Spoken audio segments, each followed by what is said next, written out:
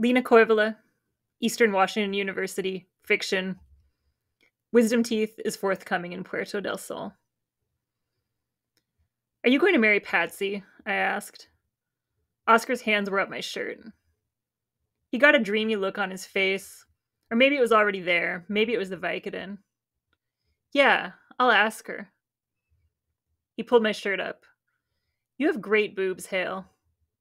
I moved my knee between his legs, flannel against flannel. Don't get top surgery, he said. I tried to take his shirt off, but I was afraid of hurting his face.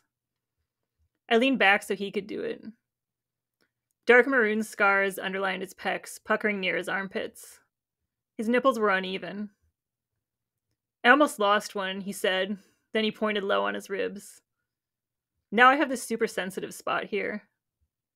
Asked if I could touch it. He said, yeah.